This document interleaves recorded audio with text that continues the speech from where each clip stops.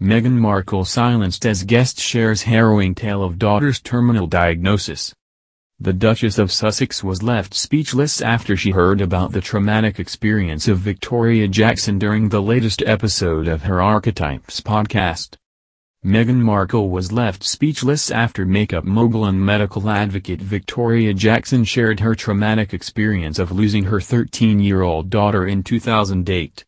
In the latest episode of the Her Archetypes podcast, the Duchess of Sussex presented it as the biggest challenge of all for Ems Jackson who fought for her daughter's life. Eventually, her daughter died of an autoimmune disease, which led her starting a foundation with her husband in a bid to find a cure for their daughter's disease. When her daughter started complaining of a headache near her eye, Victoria Jackson said she first thought her daughter's symptoms were benign, but they turned out to be much worse. It's sort of like every parent's worst nightmare all of a sudden, you know, you have a child who hasn't even been sick and, you know, one day we're out and about. And she starts telling me she has an eyeball headache and she's starting to lose some vision. And I just think she has an eye infection and, you know, we'll go to the eye doctor tomorrow. Here take a Tylenol. You'll be okay. Ms. Jackson described the time from the first symptoms to the diagnosis as very horrible. And that kind of very long horrible week from finding out that it wasn't an eye infection, but an optic neuritis, which was an inflammation of her optic nerve, and going to see the neurologist and finding out after a blood test, for what would be a rare disease that she ultimately has. It's used to be known as Devic's disease, neuromyelitis optica, most people misdiagnosed with MS that have this.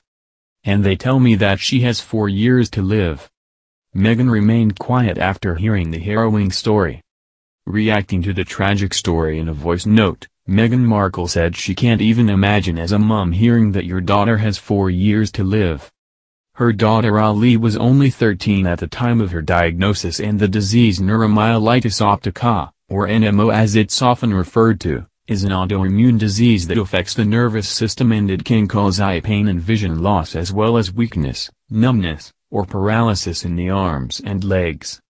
The death of her daughter prompted Victoria and her husband, Bill Guthy, to start Guthy Jackson Charitable Foundation to champion basic scientific research to find new treatments and ultimately a cure for NMO. Victoria said, immediately in that moment, my life changed and I went, as I say from mascara to medicine, and I got myself to the Mayo Clinic and I met the only doctor at the time who was doing any research, which they said, was this very rare disease. Victoria continued, so anyway, he was doing some research and I said, hey, you don't know me, but I've a lot of cosmetics and hey, I make lip gloss. I can cure this. After 10 years of research and clinical trials, Victoria Jackson's foundation found three therapies in 2019, all approved for NMO.